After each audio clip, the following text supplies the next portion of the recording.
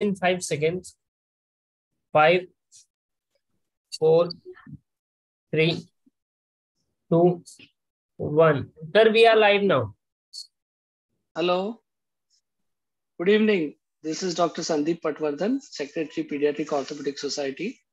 Along with Dr. Dhiren Ganjwala, we welcome you to this webinar, which uh, boasts of faculty from USA, Chennai, and Mumbai we have Dr. Mihir Thacker, who is a renowned onco orthopedic surgeon and a pediatric orthopedic surgeon practicing at uh, uh, in uh, the uh, Children's Hospital at Alfred DuPont uh, at Delaware. And we have Dr. Vijay Sriram from Chennai, who's our very own uh, pediatric orthopedic surgeon, and Dr. Sandeep Vaidya from Mumbai. Uh, all these stalwarts today are here to discuss a very interesting condition, multiple exostosis or osteochondromas and their problems and complications that arise from that. And I welcome everybody for this webinar. And I would like to start off with the talk by Dr. Mihir Thacker. Thank you very much, Sandeep, for that uh, lovely introduction. And, uh, you know, it is a great pleasure for me to be here amongst old friends and some new friends, which hopefully we will make today.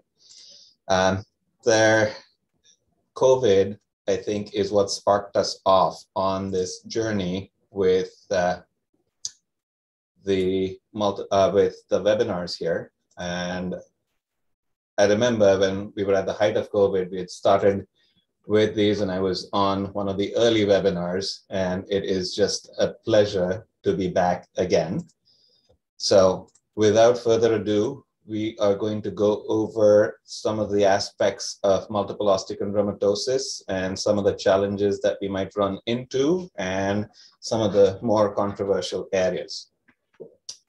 So this is a condition that is quite common. And most of us as pediatric orthopedic surgeons are very likely to see at least one, if not several patients with multiple osteochondromas or exostoses. The prevalence is roughly one per 50,000 and with the population of India growing exponentially, I think there are a lot more that you guys will see over there. Um, although I have the luxury and the pleasure of following probably about 100 odd kids and maybe another 30-ish adults with multiple osteochondromatosis.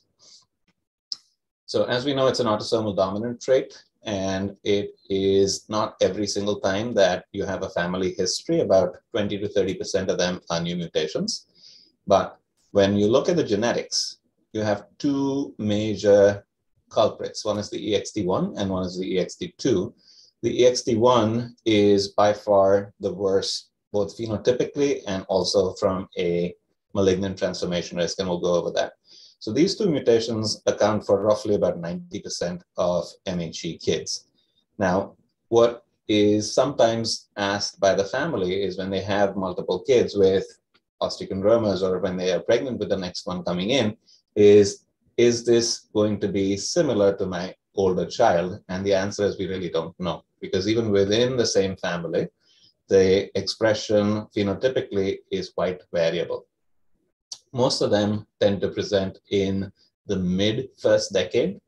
Because prior to that, the osteochondromas are small and not easily palpable. Now, if you have a family history and the family is sensitized to them, then they will probably pick them up sooner. Clearly, the ones that present earlier on are the ones that are going to be more affected. So that is something to keep in mind. And just having multiple osteochondromas doesn't necessarily mean that it's going to be MHE. There are a few other conditions that you also need to think about, namely trichorhinophalangeal syndrome type 2, Potocki-Shaffer syndrome, both of which are pretty uncommon. So, you know, if you see someone with multiple osteochondromas, more than likely you're going to be dealing with a regular MHE patient rather than one of these more unusual syndromic patients. But certainly keep those things in mind. The other condition that also will give you multiple osteochondroma sometimes is when you have kids who receive full body radiation for um, CNS malignancies or marrow-based malignancies early on. They can also develop osteochondromas in the radiation field. So that's something to keep in mind. And those potentially can misbehave down the road. So certainly a subgroup to be a little bit more careful with. Why? Because we know that this is a premalignant condition, right? Um, so what we're going to do today is we're going to go over some of these cases with MHE and go over certain case examples, go over different body parts, and look at some of the controversial areas, some of the challenges, some of the principles, and then hopefully get into a nice discussion. So I will not bore you with the genetics in too much detail, but the reason why I put this slide up is because we were quite excited uh, a couple years ago with this trial. And this was a trial for a drug called palovarotene, which is something that is used in FOP and it inhibits bone formation, but it also inhibits cartilage growth by decreasing the BMP signaling, which is abnormal in these kids with MHE. Unfortunately, with this, it also seems to inhibit the growth of normal physeal cartilage. So the trial was stopped due to premature closure of growth plates. And at this time, we really don't have much more information. So more hopefully to follow at some point down the road with medical management. So for right now, it's us basically treating this disease surgically. So let's go into some of these cases. So there's a patient. This is probably one of the youngest kids with MHE that I have seen. This is a child who is being worked up for his liver enzymes. They had done some routine lab work and found that his liver enzymes were elevated and they got an ultrasound and then a CAT scan of the abdomen. And what you can see on the left side of the screen is a big osteochondroma in a little one and a half year old. So this was indenting his liver, as you can see on the image to the right. And when we went in and took it out, we had a nice big indentation there, which, you know, the liver recovers. So that's not a problem. But this was what was causing his elevated liver enzymes. And he has since gone on to develop several, several other osteochondromas and is probably amongst one of the worst affected that I follow. So again, point being, if they present early, then it is quite likely that we're going to deal with someone with a more severe disease. Now, when we see these kids, what is our initial workup? it is quite variable. I don't think that there is anything that has been established as what a standard workup needs to be. Whether or not you need to get a skeletal survey or you just do focused imaging of the symptomatic areas, I typically will prefer to get at the very least a full lower extremity film to look at my alignment at baseline and get a sense of what the lower extremity involvement is, because that is usually the biggest source of uh, morbidity in these patients. And then clinically look at everything else. And if there's any other parts that need to be evaluated, we will get those as well. Um, some people get a skeletal survey routinely, and uh, as long as you're not overly radiating uh, people on a regular basis, I think that's perfectly reasonable to establish baseline as well. So we'll quickly go through the spine and then go into the meat of the topic, which is going to be the lower extremity. So this is a child with uh, MHE, known diagnosis, has multiple extremity involvement, and comes in with back pain. It's thoracic back pain, and neurologically, he's completely intact. We image him, and we see a fairly large osteochondroma arising from the posterior elements of his upper thoracic spine. And treatment for that is pretty straightforward. You go in, and you take it out, and because it involves the facet, we end up with a segmental instrumentation fusion over a limited segment. So that is pretty straightforward. About this one? This is a 14-year-old that, again, known case of MHE, has had multiple prior surgical procedures. This is someone that I'd seen a long time ago now, but this is a case that sticks to my mind because of how striking it was. So she was actually referred to me by one of my senior partners for leg pains, and they said, okay, you know, you're the new guy. You might as well take some of these osteochondromas out and take over the care of this patient. So in talking to the patient, it looks like she has mostly muscle cramp-like pains. And it's not very well localized over any of the osteochondromas. And then when I did a neurologic exam, she had a Babinski and wrist tendon reflexes both in the upper and the lower extremities, which then certainly raises a lot of red flags. So what we did was we imaged the spine and what you see, it's hard to see on the plain films, but if you look carefully, there is maybe a hint of something happening at the top of the C-spine. But this is not at all subtle when you look at the CT scan. And you can see that there is a large osteochondroma arising from the posterior elements of C2 completely in the canal and leaving very little room for the cord that's been squashed to the side. So these are dangerous. These are dangerous because obviously over time, as they grow, they can cause spinal cord compression.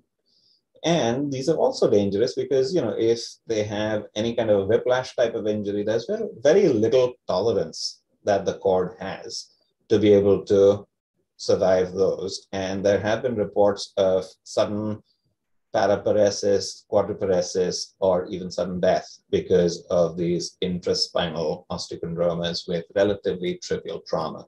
So these we take very seriously. All right. So what we did for her was we went in and we excised it, and you can see how the spinal cord is indented by that large osteochondroma. And fortunately, we did not have to resect the facets, and she did fine without any kind of fusion. But if you need to fuse it, so be it. And this is something that we published a long time ago. So very, very important for us to keep those in mind. So what are the controversial areas? Who do we screen? Do we universally screen every child with MHE? Are there any harbinger lesions or lesions that would point us to screening more diligently? When do we screen? How frequently do we screen? How do we screen? Is it just clinical or do we MRI everybody? And if we find something, how do we monitor this? And these areas remain somewhat controversial. Jim Roach, in his landmark 2009 paper, really brought this to light, where he had 44 patients, almost 70% with spine involvement, and almost a quarter with canal compromise. That's a lot. And you know, when we look at some of the subsequent studies, that really hasn't been found to be the case. And he is in Salt Lake City, Utah, which is a little bit of a clustered population.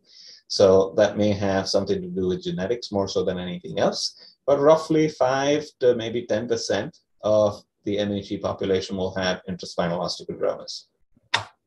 Now, one of the better papers that we've had is one from the Children's Hospital of Philadelphia with Alex Arkader as the senior author. And they basically reported their experience on over 200 patients. Roughly 10% of them had spine imaging because of symptoms, and roughly a third of those had spine lesions. So if you look at the big cohort, maybe about 3.5% of the big cohort that had symptomatic spine lesions. And that is, you know, a decent number. It's certainly not the 27% that Jim Roach found in his population. But we also have to recognize that not everybody was imaged. And some of these can be silent and asymptomatic. What they did find, which is quite useful, was if they looked at the kids who had rib and pelvic osteochondromas, that was a good indicator for them to image the spine. So all the ones that had the spine osteochondromas had pelvic osteochondromas and rib osteochondromas, and having those two gave them about 70% specificity as far as the spine is concerned. So that's something that you can keep in mind and something that is actionable. What we do see is the C-spine is the most common, C2 is the most commonly involved level. These are slow growing, the progression is variable, and like I said, they may be asymptomatic. So you really have to be on your guard. And there are no universal protocols. Uh, Steve Frick did a survey on several so-called experts on multiple osteochondromas, and they found that there was not really any agreement even within the experts about when to image, how to image, how frequently to image. So what do I do? I certainly get a pretty careful history and do a neurologic exam in all these people at all their visits. We ask for occipital headaches because of posterior element involvement at C2, neck pain, back pain, any kind of tingling or numbness or weakness of bladder bowel changes or changes in their gait, and that heightens our levels of suspicion. And then with the neurologic exam, make sure that we do a good thorough exam, check their abdominals, check their plantars, and do everything else. And that then, and also check their range of motion. And if there's any limitation there, then that certainly prompts an MRI. And once we find these, we do tend to follow them usually annually or every other year, and more so around growth spurts. Sometimes we'll stretch them out if they're close to maturity. So that's the spine. And then we'll move on quickly to the lower extremity. So as we know, the lower extremity is a major source of disability. They can cause pain, there can be deformities, and neurovascular compromise. Going through the hip, what we do know is, you know, there is some degree of hip dysplasia. The question is, does everybody get it? Or does that, is there any kind of guide to when to intervene, how to intervene? We also know that impingement is quite common, but what's the best way to address that? And then we'll go over some of the interventions. So this is our paper in 2018. We looked at uh, about 102 hips with MHE, and we found that hip involvement is quite common. Most of them have it, and it's usually pain and limited range of motion. Coxa femoral anteversion are quite common. Acetabular dysplasia, uh, not so much, and FAI is certainly there. What we also found is as we followed some of these kids, we did find that there was improvement in the parameters over time. So there is no rush to really operate on these kids. And there's another paper out of Japan where they looked at adults with MHE and did not find any major prevalence of acetabular dysplasia. So we may want to hold off on aggressive intervention for that.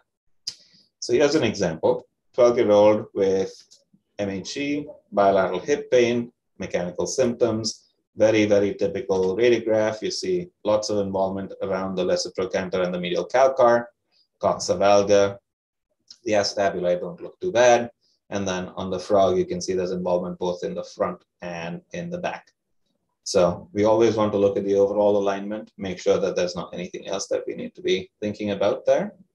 And because of the symptoms, she gets an MRI. And what we see is a paralabral cyst. You see osteochondroma circumferentially around the neck, and the labrum looks pretty unhappy because it's been crushed by these osteochondromas.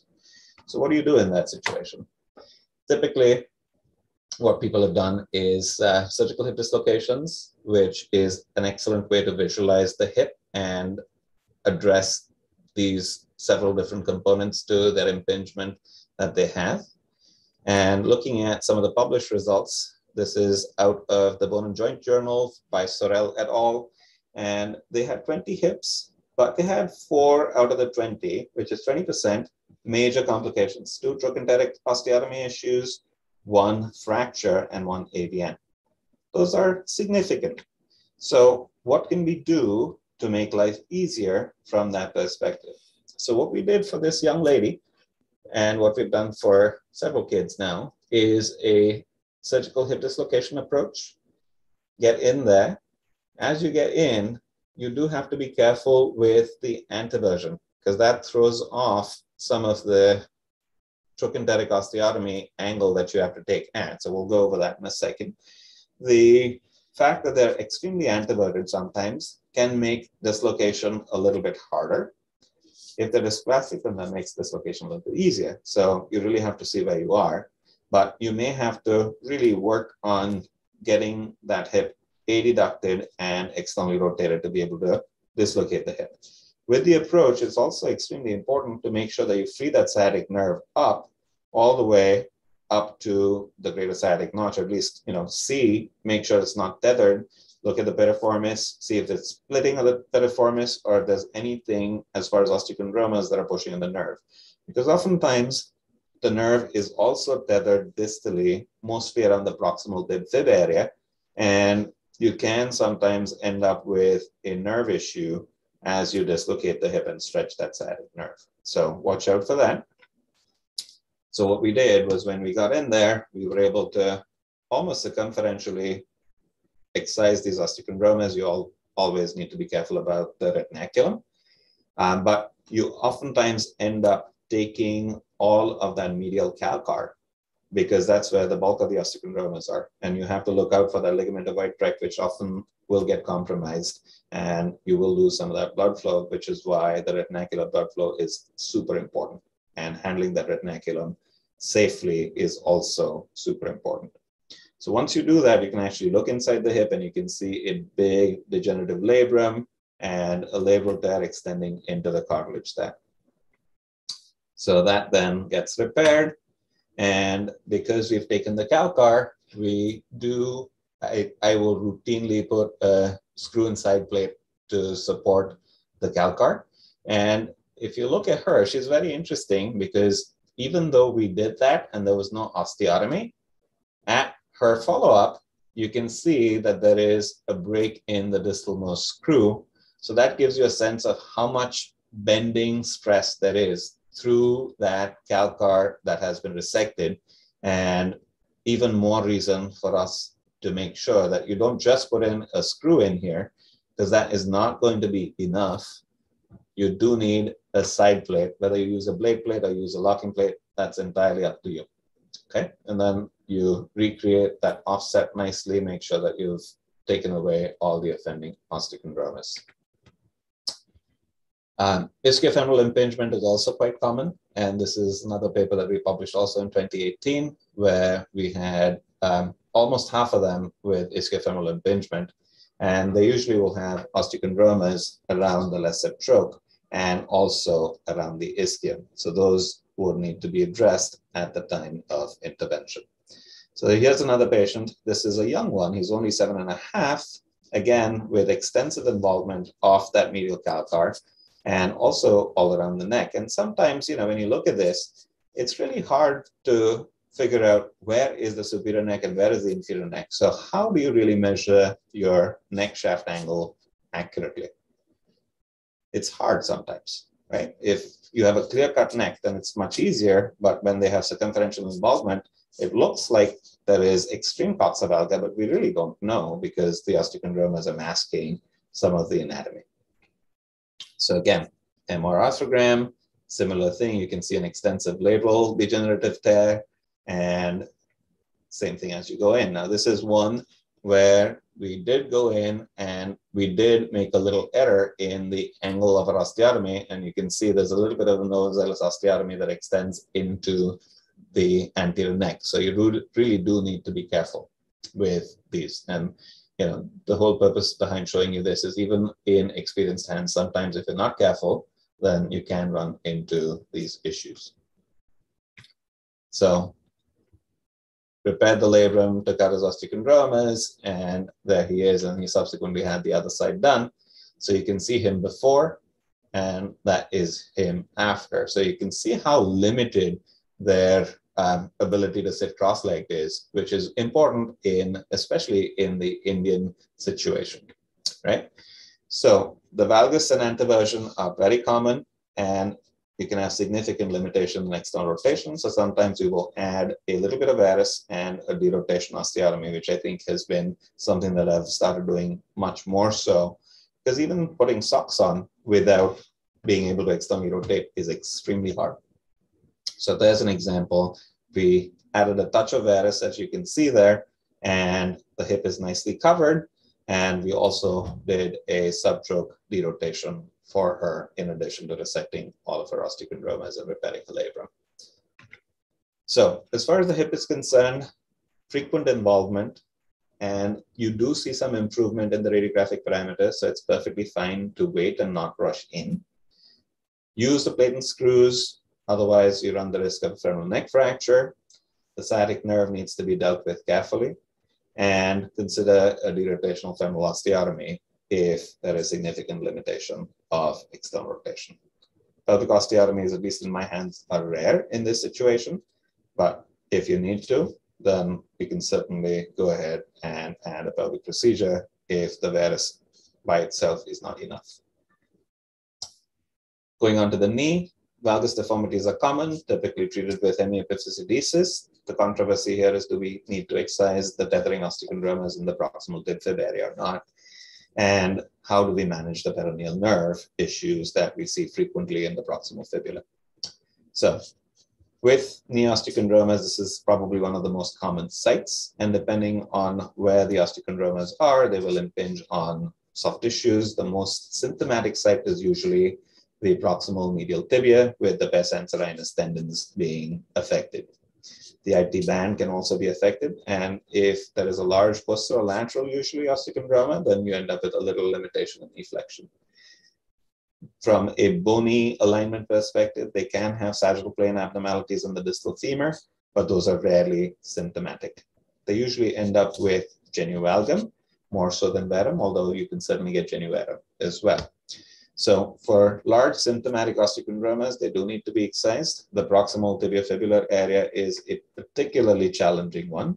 And uh, you may need to approach this with more than one surgical approach. So you may want to do like a posterolateral approach plus an anterior approach as well to safely get things um, out of the way for you to be able to resect them.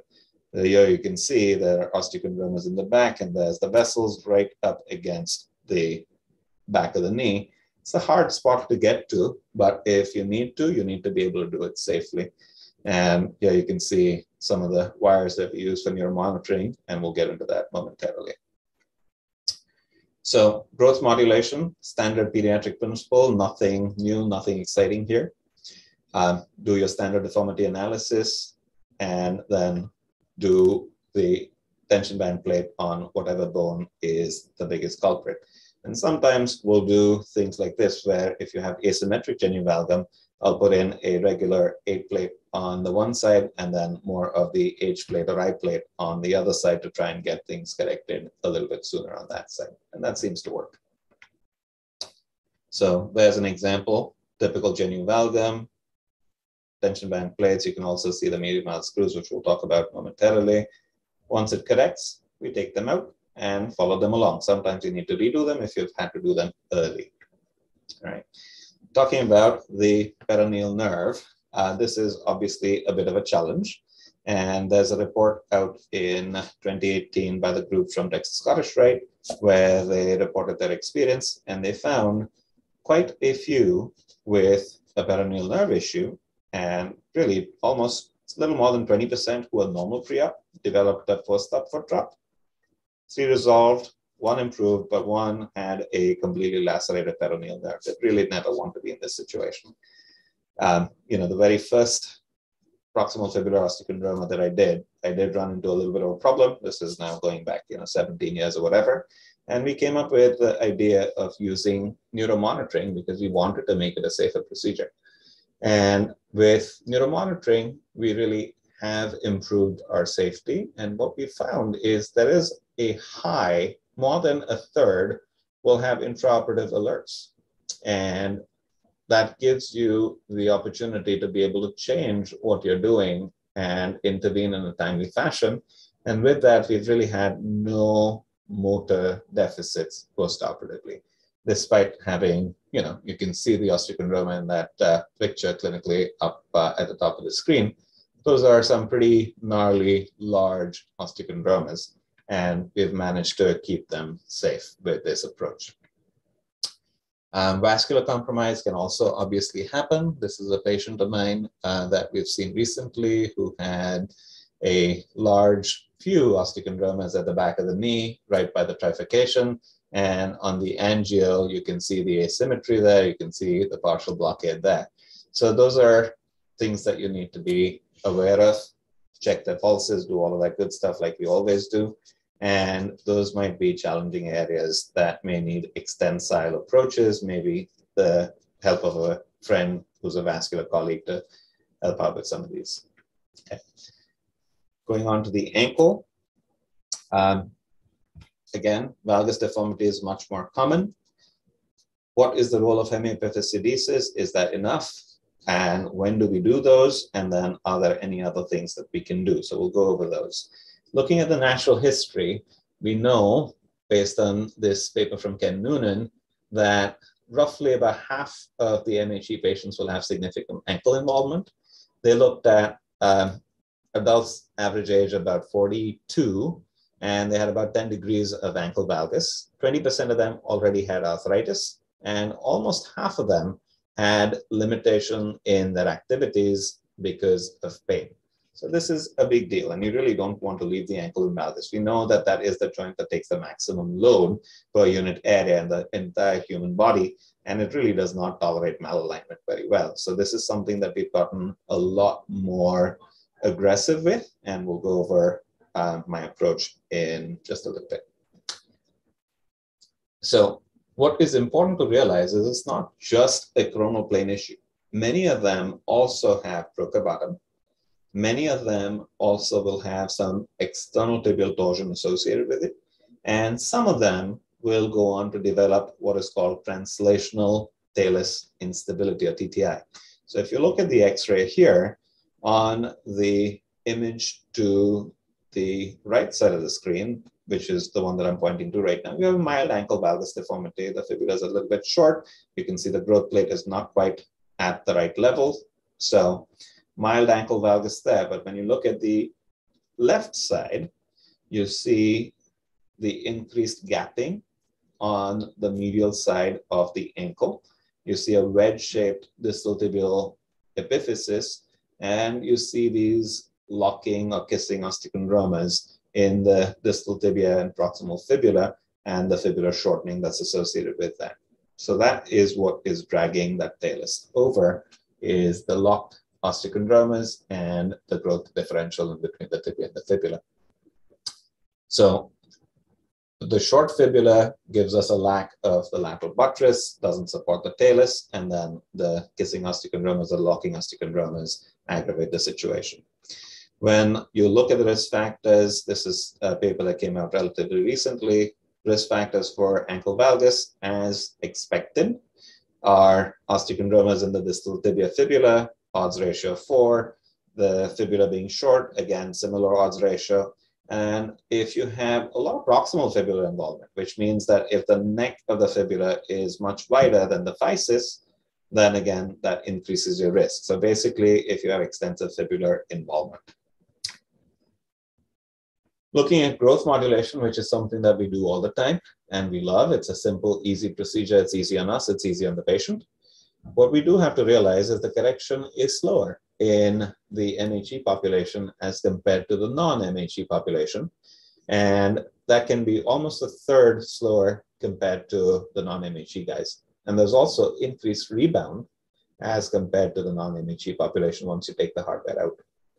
So certainly something to keep in mind. The nice thing is you can always do a repeat if there's enough growth remaining, and that should be that. What I do is I do use a fully threaded screw, which makes it easier for us to take out. And if there's significant procurvatum, then I will cheat that screw a little bit anterior in the medial malleolus to help with correcting the sagittal plane as well. So there's an example you can see the ankle valgus there. And we'll go over this as well. So there's that kiddo that we showed in the first example. And with the simple ankle valgus, the medial mal screw works very nicely. I usually don't let it overcorrect too much, even though we know that uh, about half of them will rebound, but the other half won't. So again, varus is not great for the ankle either. So we do need to be careful with that. And also, have to look at the proximal alignment because that is going to throw the ankle off as well. Not only that, you also want to look at the subtalar joint and see if there is any fixed subtalar deformity, which then influences what you need to do. So on the right side, there he is, corrected out nicely, hardware out, ankle is nice and horizontal by the time he's skeletally mature. On the left side, this is the one with the translational talar instability. And back in the day, we weren't quite appreciating this quite as much. So I did nothing to these osteochondromas in between the tibia and the fibula. And sure, we've corrected the ankle. So the ankle is now horizontal, but you still see that persistent widening of that medial joint space. So that is something that we don't quite know how well that ankle is going to hold up in the long term. And we've gotten much more aggressive about trying to resect some of these osteochondromas and unlock the tibia and the fibula at the time of the medial mal screw placement. And then obviously you need to do something about syndesmosis because you're all the way down.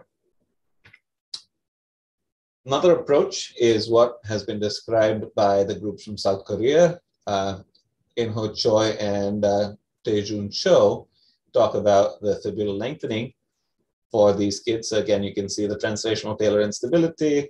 What they do is they dissect the osteochondromas, which is important, and then they lengthen the fibula. And with an average of 15 millimeters of lengthening of the fibula, they got about five millimeters of fibular descent. So doesn't mean that the fibula is going to descend at the same exact um, distance as you actually lengthen. You lose some of that, but you lengthen till the point you restore your lateral buttress. Okay. And that seemed to do very well in their population. The um, group from West Palm Beach, Paley, and the Feldman have popularized the use of the short, which is basically shortening and realignment of the distal tibia again with resection of the offending osteochondromas in the distal tib fib area. So I think that is an important piece of the puzzle. Once they're skeletally mature, then obviously you have to osteotomize and you will probably need to osteotomize not just the tibia, but also the fibula, even if you go relatively low. So here's an example. You can see there's about 15 degrees of valgus, which we've straightened out, translated it over, and osteotomized the fibula. So now the fibula is much more able to support that talus. And it's a biplanar correction. So you get not just the valgus part, but also the procurvatum with the osteotomy. And there he is clinically looking better. So as far as the ankle is concerned, the take-home message is valgus is quite common and can be progressive. You do have to assess both proximally and distally like you do for most things in orthopedics. And really, the translational talar instability is the fork in the road. So medial mal screws early and probably excise the binding osteochondromas at that time. And for TTI, consider fibular lengthening or a short. Last little slide on limb length discrepancy, which can also be seen quite commonly. This is treated with normal LLD principles that we do in pediatric orthopedics. You can epiphysiodese or you can lengthen. Um, always remember that if you're doing a lengthening of the tibia, especially, the fibula is going to get dragged up. So you really need to be careful with that. You might want to capture the fibula, which we did not do here because we had osteotomized the distal tibia but that is certainly something to consider quite strongly in this population. So with that, we will pause and open things up for discussion.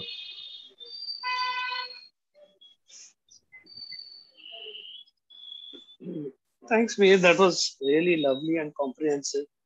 Covered most of the aspects of uh, the complicated osteochondromas, especially causing deviations around the knee and the ankle and impingement around the hip region. Uh, most of us don't really do too much of spine, but it was nice to know that we need to sometimes monitor them. And that's important that you know that when to screen. so let me ask Sandeep Vaidya to present his case. And uh, after that, we'll take some questions. Sandeep? Yeah. So As this case uh, has been shared by yourself by Steve Patwardhan. So I think you have spoken about this problem, osteochondroma of the femur neck. And uh, this is a 14 year old boy. Obviously, the you know the functional disability is inability to squat, and also there is painful terminal flexion, abduction, and external rotation movements. And this is what the X-ray shows. So, uh, Mihir, uh, in your talk, you said about you know there were some few natural history papers which uh, uh, spoke about you know natural improvement of the acetabular indices and the hip indices. So, which is the point when you consider you know that this hip should undergo an intervention? So that's a great question, and for me, it's mostly two things. The biggest thing is symptoms, because as you've shown in this case, many of these kids are pretty symptomatic because they cannot squat, they cannot sit cross-legged, and they start having pain. You know, this kid is a little bit older. I showed you one that was quite young at, you know, seven and a half when he started having symptoms. So it's not so much the age that forces me to intervene. I prefer to wait as long as we possibly can. But if they're significantly symptomatic, then that is certainly something that does push me towards more aggressive intervention. The other thing that makes me somewhat nervous also is if they are significantly subluxated, right? So oftentimes they have osteochondromas around the lesser troch. As they grow, they will push the hip laterally. Sometimes they actually have osteochondromas inside the joint, which can also lateralize the hip. And we know that a subluxated hip in any age group really is a cause of significant potential long-term damage. So those are my two big kind of indications to intervene, symptoms being the primary one. And then if the hip is significantly lateralized, then those are ones that I will potentially be a little bit more aggressive with. I may not jump in right away, but I certainly am very uh, quick to jump in with those. Second question, just before I go ahead with this case, you spoke about the safe surgical dislocation approach, but uh, you know, uh, is it that you take this approach in all cases, or does the site of the osteochondroma, uh, you know, because sometimes we see that the osteochondroma is projecting a bit posterior-medially from the, at the level of the lesser trochanter. So in those cases, would you consider taking a medial approach rather than going for the safe surgical dislocation approach? Absolutely, yeah. So it is so for me personally, I think the SSD has become kind of my procedure of choice because the vast majority of what I deal with and what I see is not necessarily isolated calcar osteochondroma. It's usually more circumferential osteochondromas, but occasionally, and we had one probably about two years ago where this is a girl who had just an isolated osteochondroma coming from the lesser troch area, just like you said, posteromedial. And in that situation, we did go using the adductor approach because sometimes, especially if they're distal, then it's really hard to get all the way distal through the SSD. And in that situation, it's probably a better idea to go with more of a medial approach. Yeah, so certainly that influences your choice. But the majority will probably end up with an SSD. Yeah, but this case definitely you would go for an SSD approach. Yes, because you're circumferentially involved, right? So that's yeah. the problem. You can't really address all of that even with an anterior approach. Yeah, so so we'll just see how you know Sandeep has tackled this case, and uh, this is as you said, you know, the safe surgical dislocation approach. This is what he did, uh, and this is the SSD approach. And here you can see that you it gives a great circumferential uh, you know, access to the femoral neck and the entire femoral neck osteochondroma has been excised. And uh, these are the multiple pieces. This is refixation of the trochanteric osteotomy. And this is pre-op versus post-op. And you can see the functional improvement. Yeah. Oh, that's beautiful. Very, very nicely done. I don't think I could have done it better. That is beautiful. And this is what you need, right? This is what ends up happening. Um, sometimes what is a challenge is even with taking out all of the osteochondromas pretty much all the way around. I think you still have a little bit left on the neck, but uh, on the medial neck, but that is not really causing any trouble. But even when you take those out, they still have limited external rotation. So that's when uh, I will add a derotational osteotomy to the femur because without that, they still don't quite get this level of squatting, which is very important. May just Sir, a question? Yeah. Uh, yeah. What um, are the chances of recurrence of these osteochondroma excisions when done very young? Would you so, do them prophylactically sometimes because a lot of parents are uh, they are familial, you know, father has it and it's hmm. an inherited trait mm-hmm. and uh, they don't want their child to suffer the same consequences they have had. So they come early and start demanding surgery. Would you do it then? And what happens if you do it too early? So um, that's that's actually a very very common clinical scenario, and I think that that is something that you know I'll probably address a little bit towards the end of my second talk. But the important thing here is I do not do not try and do things prophylactically because the younger you are, the higher the risk of recurrence of the osteochondromas, especially if you're very near the growth plate, there's a chance of growth plate damage because, you know, early on the osteochondromas are pretty close to the growth plate. So I will actively discourage them from doing things prophylactically. And half the parents are sensible maybe more than half the parents are sensible. Some of them will continue to push you. And it's usually, in my experience, it's not so much the parent who actually has the MHE, it's the spouse that pushes you. Because the people who actually have the MHE realize that it's really not that bad.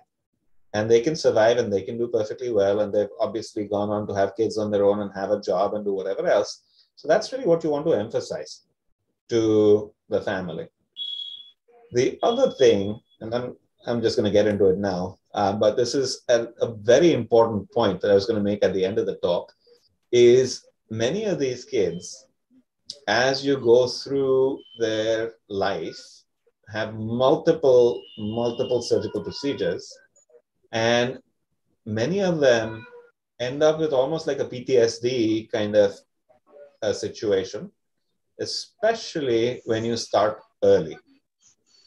So, as I have gotten older, um, and you know, as I've seen more of this, I have gotten way less aggressive with osteochondroma excisions. I try and push them off as much as I possibly can. And you know, the alignment issues are different. The alignment needs to be treated and the alignment needs to be treated at the right time with growth modulation as much as you possibly can to minimize morbidity all around. But osteochondromas, I will push off as much as I possibly can and then try and combine them with the alignment procedures whenever I can. Thanks. You had a question. Yeah, uh, Mihir, uh, the question is about uh, uh, many of these swellings are sessile, means they have a broad base. And when we want to remove it from the neck, it's very difficult to differentiate that we are not actually uh, trying to remove the part of the neck because otherwise that will make the neck uh, weaker. So how do you decide on table that this is the uh, line from where you are going to remove the exostosis? So as far as the hip is concerned, I think the nice thing is you have a femoral head. And the femoral head, you know what your normal proximal femoral offset needs to be. So that gives you a very nice guide as to how deep you want to get.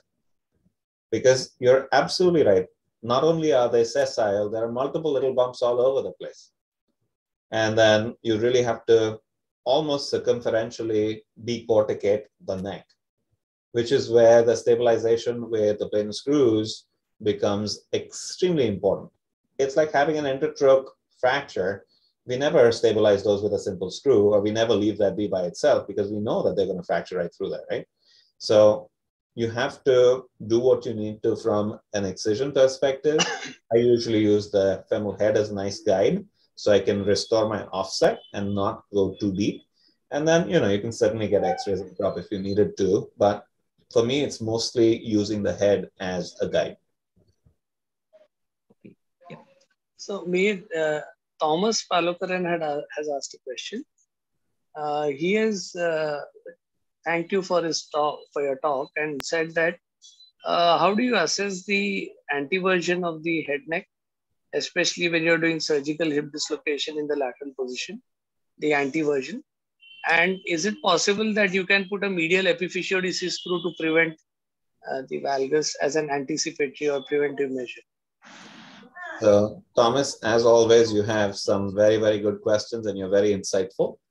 Um, it's good to hear from you.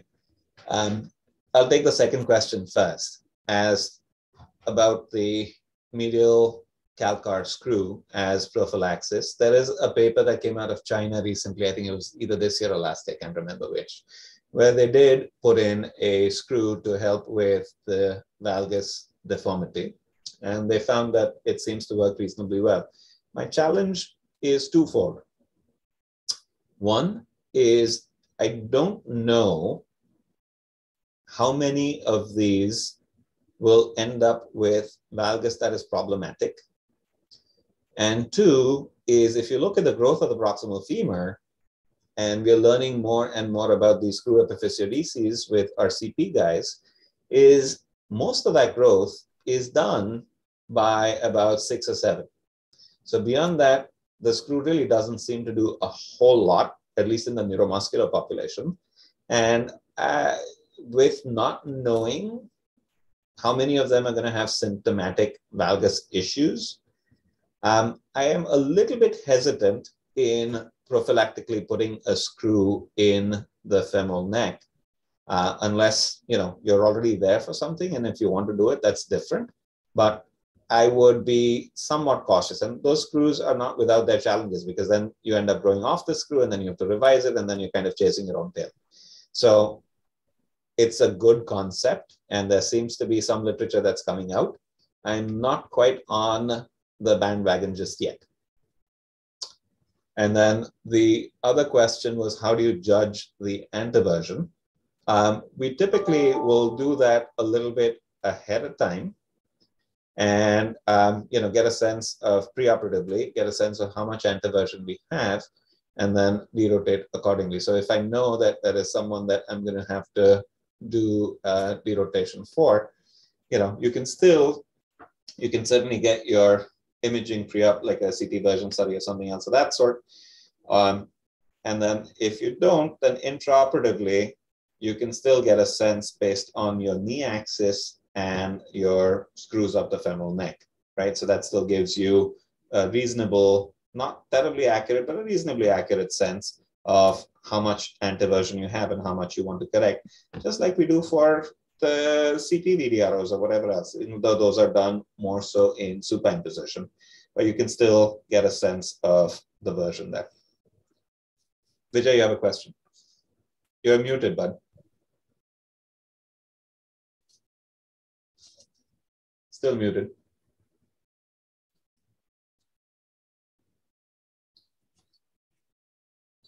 Okay, Vijay, what we can do is like uh, you can write in the chat box Can you hear me now? Yes, yes. yeah, please. Okay. Uh, Mihir, you have a large series of cases. How much, how many of these have you seen malignant transformation? How many have you seen? And is there a predilection between upper limb and lower limb? Is there any difference in the rates of malignant transformation? So, uh, great question. Hold that thought. We'll talk about it in the next part. Okay. okay. Before we move on to the next one, Dhirenbhai, I want to make a quick comment going back to Sandeep's first comment about most of us don't do spine, and I don't do spine usually by myself either, unless there's a tumor, I will do it, and I will do it with one of my spine colleagues. Um, but the important thing here is these are the kids that we are seeing consistently. And it becomes even more important for us to pick up these changes and then send it over to our spine friends or do it with your spine friends or whatever else, because otherwise nobody's going to check those. And you end up with major issues, including you know, quadriplegia and death. So I think we have to take ownership of that part and then bring in our friends as needed for the spine. Okay, that's very important yeah that's the message we uh, take home that uh, we need to look for the neurology because if we don't then no one is really look for that. Yeah. Uh, shall we go to the second presentation and then we can take uh, one case for the discussion? Absolutely. Right, let me share screen again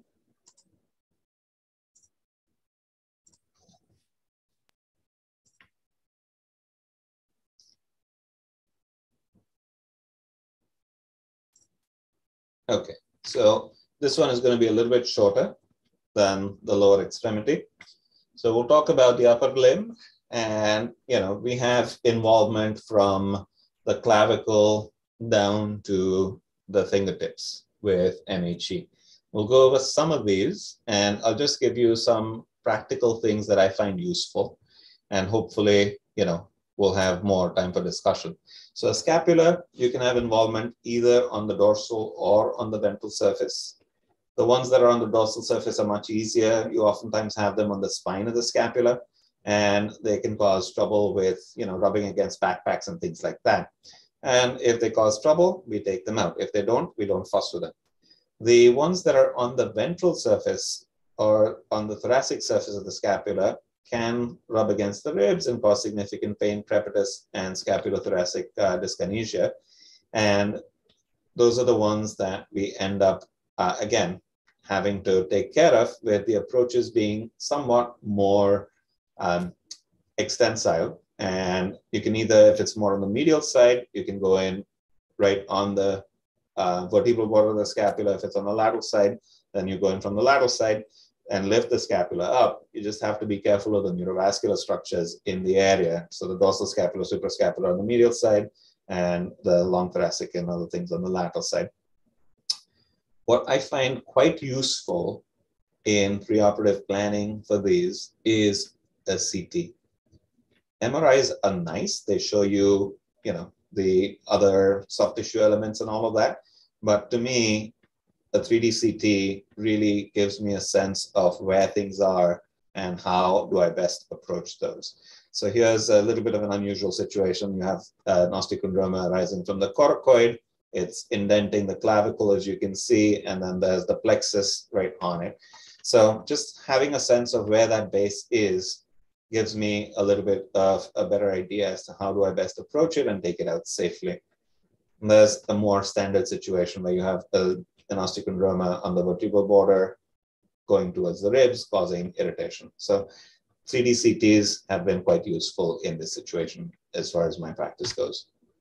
Proximal humeral involvement, clavicular involvement, common, but not usually terribly symptomatic. And approaches are usually the standard deltopectoral for the most part. Occasionally, if it's a medial posteromedial, then you may have to do more of an axillary dissection and dissect out the neurovascular bundle. And again, uh, I'm quite likely to use neuromonitoring even in the upper extremities if there's major neurovascular dissection that I need to perform. And that has worked out well. Now, this is kind of the crux of the MHE upper extremity, which is the MHE forearm. There's nothing that is more controversial and less clarified than the MHE forearm. Forearm involvement is quite common. Four out of five kids will have it. Forearm deformity is at least in half, maybe more. And radial head dislocations, which are quite disabling in about 20 to 30% of these kids. These can result in significant pain and limited rotation, some of which is compensated by the shoulder. So rotations are fortunately not as much of an issue but they certainly can be quite limited. And the shoulder can compensate some, but sometimes they're so limited that it becomes more of a functional problem. Traditionally, we've classified them using the Masada classification, which was published way back in 1989. And we'll go over some of the limitations of those as well. So, like I said, radial head dislocation is the crux of the matter do we know what the risk factors are and how do we treat this and is there any kind of prophylactic thing that we can do? Classifications. Is masada the only classification? Is it the best classification? Does it really help us in any way? And when you do embark upon surgery what are the principles and how much do we actually benefit people? So this is probably one of the best reviews that we've had on MHE this is out of uh, the UK, I think, and this is 212 non-operated forearms in kids who are skeletally mature, really more than 15 years of age. Half EXT1, half EXT2. So there is some thought that the EXT2 leads to more forearm involvement. I don't know that that's 100% uh, true or established, but there is some thought to that. And um, going to Vijay's question about chondrosarcomas in this particular series, they had more, um, you know, upper extremity chondrosarcomas, so two scapular, one proximal humerus, two spines, one rib, one pelvis. Um, I don't know that, again, this is truly representative of all of them, but this is a large series. Most of them had forearm involvement and on average had three exostoses per forearm, and one out of seven had a dislocated radial head. Rotational arc was significantly limited in those with a dislocated radial head versus not, as is expected. And when they looked at what their risk factors were, they found that it's mainly the ulnar length. So if the proportional ulnar length to height is less than 12 or 13%, then that was predictive in their series. And there are a couple other series that have come up with similar numbers um, as far as the risk of radial head dislocation is concerned. So I think this is a useful thing for us to kind of take away. Um, I know that in a busy orthopedic practice, not everybody is getting heights on these patients, but it may well be worth doing that. We do it routinely because that's what we are mandated to do. So we do have height data on all of these kids, but that is something to consider, uh, especially if you find that there is some degree of forearm involvement, it may be a good idea to measure their heights. The traditional Masada classification, type 1 is distal ulna, type 2 is with a radial head dislocation, either distal ulna and proximal radius, which is 2A, or just the distal ulna, which is 2B. And then type 3 is distal radial involvement. This to me is a little bit haphazard and kind of all over the place as far as classifications go. There's not really any systematic thought to this, and this is based on only 30 patients. There are no patients that had any distal, radial, or ulnar involvement that are mentioned in this particular classification, so it becomes hard. So almost a third, maybe a little bit more than a third, are then considered unclassifiable as we go forward and look at our patients. And there's a recent paper that just came out earlier this year about the inter-intrarater reliability of the Masada, and they found that this was quite poor. So the folks from South Korea came up with their own modification because they realized that this is these are the problems with the Masada. And they added a type 4, which is both bone distal involvement. And also, again, when they looked at the radial head dislocation risk, they found that if you have significant ulnar shortening compared to the radius, you're at 18 times the risk of a radial head dislocation. And also, if you have an increased radial bow, then again, you're at higher risk. So these are things, again, that we can kind of keep in the back of our mind if there's significant discrepancy. So traditional indications for surgery for pain, increased radial inclination with progressive carpal slip, decreasing range of motion, and then obviously radial head instability. However, when you look at the longer term results, and this is from Masada's group um, in Japan, they had about a 13 or 14 year follow up, and they found that the only ones that really had any major improvement were the ones where the osteochondromas were painful and they took them out, and not necessarily improving their function in any way, shape, or form. So that is something that is quite sobering because we love to operate. We are surgeons, that's what we do.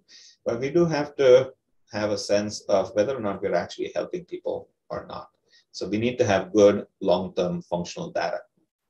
So here's, we go through a few cases. This is a simple little thing. You know, you have an isolated distal osteochondroma, distal radius looks fine. There's no difference in the radial variance. That looks good. No carpal slip. Easy. Do nothing, right? Just because there's an osteochondroma doesn't mean it needs to come out. Here's a slightly more involved case. So this is someone who at age eight, you can see has a short ulna. There are osteochondromas in both the distal radius and the distal ulna. The range of motion was okay, and the ulnar shortening wasn't too bad. There wasn't really any significant increase in the bow, so we watched it. And at five and a half years or five years and three month follow-up, here we are. So you can see that the ulna has progressively shortened over time. And what I would love, love, uh, love for you to kind of get a little bit of appreciation of is when you look at the physes, you want to look at the proximal and the distal radial physis. And if you see that physis kind of triangulating just like the fibula does, then that means that usually there is a bit of a tether down distally. And those are the ones, obviously, that will have the carpal slip. But those are the ones that very infrequently have a radial head dislocation. Okay. So, and you don't necessarily see that right off the bat. You can see maybe a little bit of a triangulation here. But as you follow them along, if you see dysmorphic changes in the distal physis, then it is less likely that we will end up with radial head instability. But they do need to be followed. So here we are. She's symptomatic at that point. What we did was we took out the blocking osteochondromas and then shortened and straightened out the radius. So this is like a short procedure for the tibia just in reverse. And you know, the distal radius is very much like the distal tibia in that regard. Now, here's another example. So again, you see that same kind of dysmorphic appearing distal radial physis there. You see the carpal slip. You see the ulna is pretty straight. And you also see the dysmorphic changes in the distal ulna as well. So you don't really have a nice flat ulnar surface. So when, if you decide to correct the discrepancy in length in between the two, you probably still need to leave that ulna a little bit short. Otherwise, you end up with a sharp ulna jabbing into the carpus. So again, here's what we did. You can see the degree of shortening and angular correction, temporarily stabilized with the wires to hold it in place. And then there's a plate and screws. And because of the dysmorphic nature of the physis, I added a radial styloid screw, much like a medial Malles screw. And here we are. So there she is at about 14 and a bit. All healed. The ulna still a little bit short, but the radius is now much flatter and much happier. And you can see there's a little bit of a bow to the distal ulna. But overall, radial head remains stable. And there's her function. So almost full pronation, almost full supination, and great wrist function. Now this is a little bit more of a challenge. So this is someone that we started off with a while ago. And you can see clearly there's a dislocated radial head there. Reasonably good elbow motion, but really poor rotation. So here we are at age eight. You can see a large ulnar osteochondroma you can see the radial bow, and you can already see that the radial head is dislocated. CT, again, is quite useful. You can get an MR as well. And you can see the osteochondroma here. If you look at the distal radius there, it really isn't dented quite as much or tilted quite as much, but that is something for you to kind of keep an eye on as well. So now what you also don't see very clearly, and this is something that we've slowly kind of realized over time, is as these kids dislocate their radius, not only is it a radial dislocation, but when it's this early, look at what's happening to the sigmoid notch. That notch is not normal anymore that notch has progressively, as the radial head dislocates, it's almost like acetabular dysplasia with progressive migration, you end up widening that notch. So even when you bring the head back down, it's not going to be a normal head. The other thing you also want to look at is what is the shape of that radial head. If it's already convex, putting it back in is not helping anybody. So those are things that we will look for and look at as we plan our reconstructive strategy. The other thing that we've also realized over time is not only do you have dysplasia in the proximal ulna, but there's also typically a significant angular deformity in the proximal radius, which usually is seen as valgus on your radiographs, but it's a multiplanar deformity. And as we've done more CAT scans in these, we've learned to appreciate that more. I don't know that I have the best surgical strategy for those just yet. So this was back in the day. We lengthened it with an X-fix excised the osteochondroma and then did an ulnar lengthening because we wanted to bring the radial head down. We incorporated the radius into the frame. You can do this with a uniplanar X-fix. You can do this with a circular X-fix, whatever your level of comfort and experience is. You also have to do a little bit of angulation. It's like a montage, right? So you really have to do a little bit of angulation to be able to get the right alignment for the ulna. So that's something to keep in mind as well. And then as we lengthened, we brought the radius down. Once the radius is slightly over reduced is when you take the radial frame off and then just proceed with ulnar lengthening. Because he was eight, we did attempt to over lengthen the ulna. The ulna is not super dysplastic. There's all sorts of cartilage that's there still. So you can afford to over lengthen it slightly. You don't want to super over lengthen because then you will end up with ulnocarpal abutment and pain. And then you follow him along, and here he is at four years post stop, back out, same thing, same problem. So that's the question again related to part of what Dr. Patwardhan was talking about is, you know, if you do them prophylactically, what happens? This is not prophylactic, but you still will end up with trouble as you go along. So this is what I was talking about. You see the radial shaft alignment, and then you see the alignment at the neck. So there's a proximal radial deformity in these patients. So there he is. Again, you can see this is all from the prior surgery and the realignment and everything else. And this time around, we used a materialized protocol to come up with custom jigs to see if we could do something to get that head in a better position. So as you can see, these are extensile approaches, lots of exposure here. And you can see it's a multiplanar wedge really. And these are pre-drilled um, screws from the jig. And you can cut through the jig as well and take out a predetermined amount of bone. And not only do you do that in the ulna, you also then have to address the radial deformity. So it's really a huge, big surgical exposure. And this is what we end up with. Understanding that your sigmoid notch is still not normal. So this gets you back towards normal, but not quite normal. And some people would say, why even bother? Just take off the radial head and be done with it. And I think that is certainly an approach that can be considered, right? Um, the type 2A Masadas, the ones that have distal osteochondromas and proximal radial osteochondromas and proximal radial deformity, again, remain quite challenging. And this one presented late. He was about 12 or 13. You can see the deformity is there. You can see that the top of the radius is certainly not normal looking. And this is one that we decided not to address because I don't think that there was anything that I could have done that would have given him any major functional improvement. If that radial head becomes more symptomatic over time, certainly would consider excising that radial head, but I don't know that I can significantly improve his forearm arc with my interventions.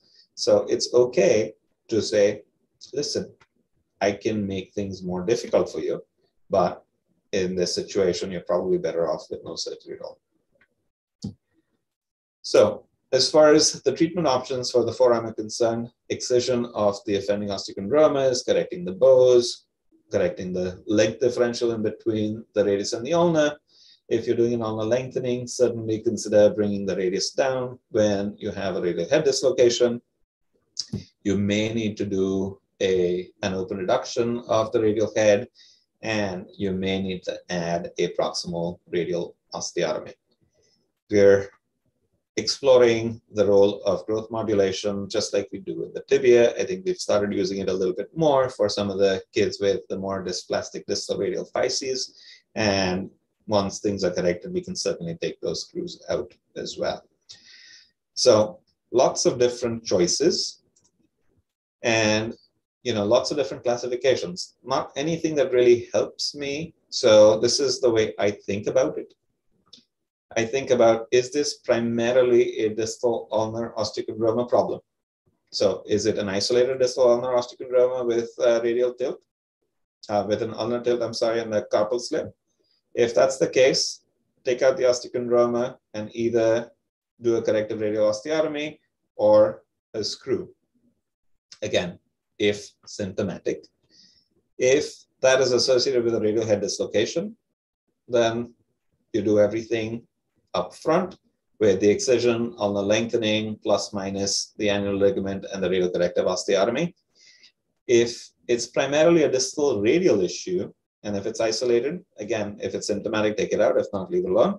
If you have issues with the joint, so again, you're seeing that theme here: isolated joint issue, isolated joint issue. Then you address the differential and excise the offending osteochondroma. And then for me, if both bones are significantly involved, like distal radial ulnar locking osteochondromas that have limited pronation supination, I will certainly go ahead and try and excise those. And that will help with some improvement. Doesn't always normalize them, especially if you do them early. They do grow back and cause things to lock up again. So certainly something to be aware of and be careful about. If it is a distal ulna with a proximal radius, which is similar to the Masada 2A, then I don't know that I have the best choice, especially if they are late. And I don't know that I can make any major improvements to their function. So from a take-home message perspective, we really need better long-term data and uh, patient-reported outcomes. And we know the ones that will dislocate the radial heads. There are some of the risk factors that we look out for. Maybe there will be a role for some prophylactic management of those. I don't do that just yet. Um, if you are lengthening the ulna, make sure you include the radius. Look out for recurrences if you do them early. And the dysmorphic changes, both proximally and distally, are going to affect your results. So look out for those and be careful of what you promise your patients. Um, MHE hand, what is different? Distal phalanx involvement is quite common. You can get nail deformities. Unlike regular osteochondromas, these actually grow towards the joint as opposed to away from the joint, and they can cause significant limitation in range of motion. And pain is quite uncommon. They have, you know, many of them will have finger involvement. Not many of them will complain about it, but angular deformities and decreased range of motion may need to be addressed. So there's an example. This is a very young child he was only about four, three or four uh, when we started. And you can see there's already a big osteochondroma blocking his flexion. So we did excise that. And you do want to be careful with the growth plate there, right? Because as you go through that, you may end up with a growth arrest and that will cause its own issues. So you do have to be a little bit careful with that. And there he is looking much more normal and functioning well. Last thing, malignant transformation. So if there's an example, 48-year-old um, with MHE, buttock pain, enlarging mass, you can see all the calcification in that cartilage cap around the SI joint. You can see the SI joint involvement and extension out into the soft tissues. These are hard. This is the longest case that I've ever done in my life. And, you know, we did an anterior vascular dissection, went in from the back, sacral laminectomy is a hemisacrectomy, partial hemipelvectomy, dissect out the entire plexus. So vessels in the front, plexus, take the tumor out, bridge. So there's the graft from five to supraacetabular, and then uh, put a flap on over top. These are tough cases, but there she is, doing well. Yeah. So of malignant transformation, roughly about four to five percent. I don't know that there is any literature out there that says the upper extremity is more involved or the lower extremity is more involved. It's mostly the axial skeleton. And the EXT1s are roughly twice as likely to develop malignant transformation. So there's another relatively large study, and you see more involvement of the lowers as compared to the uppers. And then we also saw the other paper that had more upper extremity involvement. So it's roughly, I would say, probably the pelvis, in my experience, is probably the most annoying and the most likely. All right, so I'm going to stop there with this because I do want to leave some time for discussion. Um, last few words, genetics matters. Counseling is extremely important. Like uh, we were talking about with Sandeep, emphasize function. That really is the key. You really don't care about, or you really don't want the patient to care about the appearance or the osteochondromas in themselves. You really want to emphasize how functional they are, show them how functional their parents are, and provide them with psychological support because they do get bullied, they do get teased, and they, because of our interventions, can end up with a PTSD like uh, situation. So try and minimize interventions, use the Semmel's principle, do as many things as you can at one time. And important thing is to maintain good alignment at maturity and minimize arthritis and monitor them for secondary malignancy. Thank you. It's a lot. Yeah, um, like you covered the whole topic completely. And so it was a very good revision of every important point related to exostosis. Yes, Sandeep, can you take your case because what you are going to show is, is very different than what Mihir spoke. So yeah.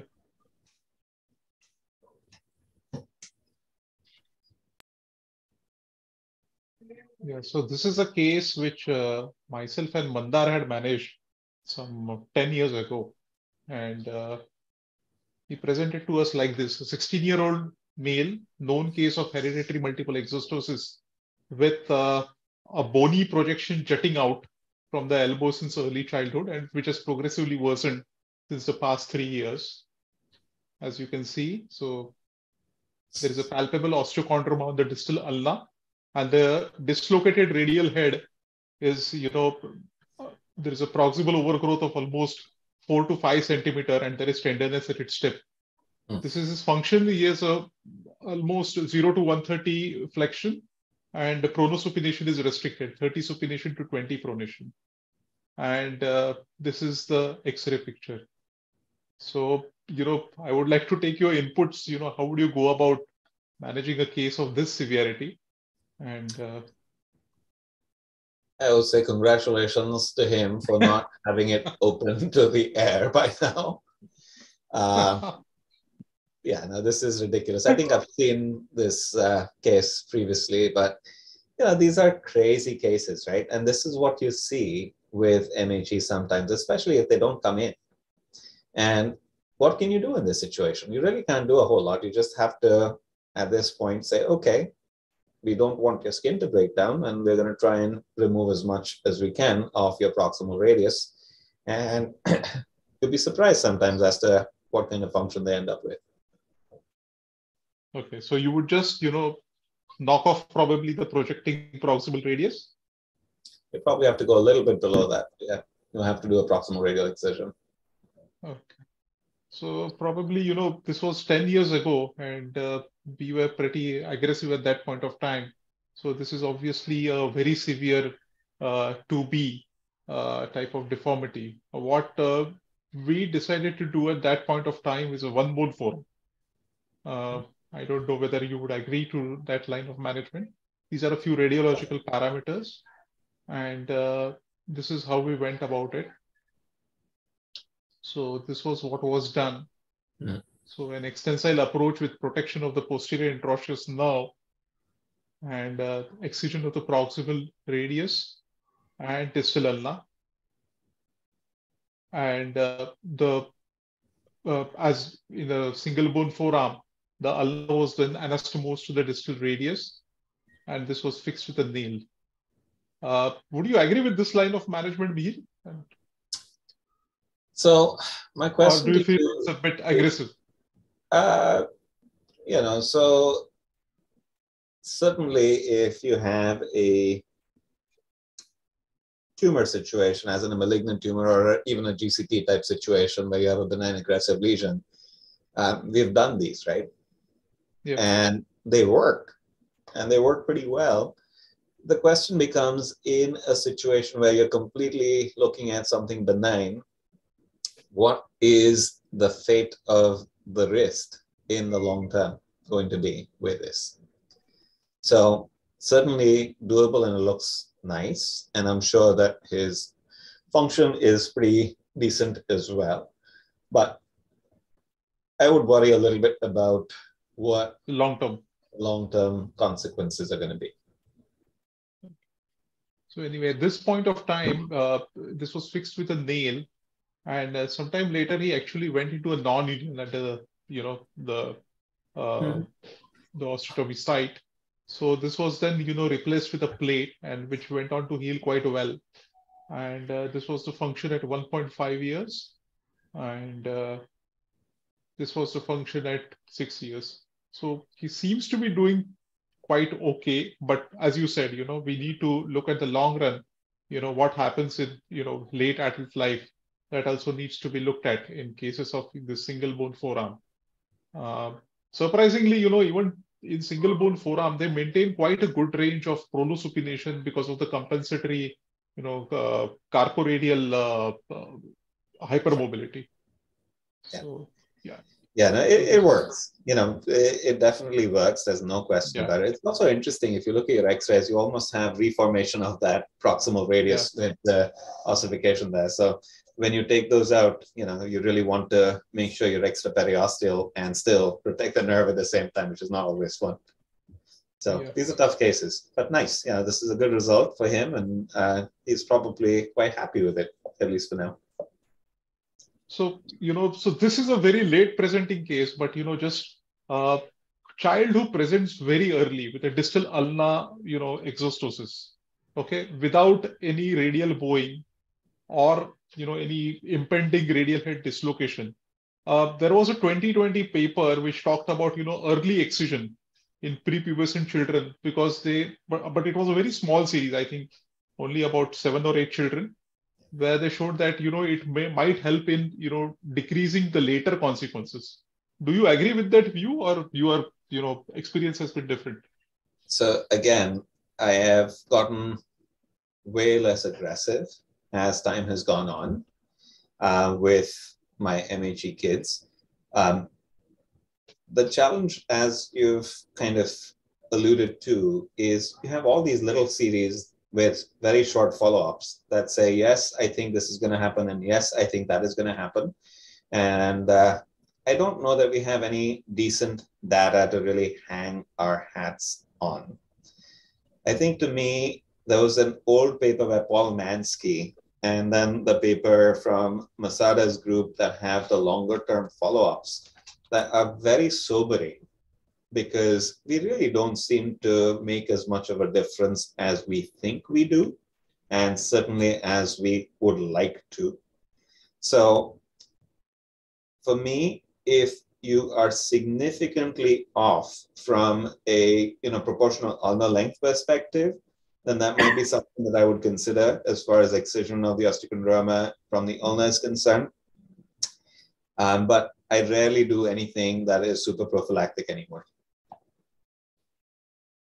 Okay. Uh, like say we have uh, we are already overshooting the time, but like we will take one question. Uh, Dr. Premal Nayak has asked a question that is there any role of distal ulna release to prevent radial head excision as Maribeth Ezaki has suggested? Um, I don't know.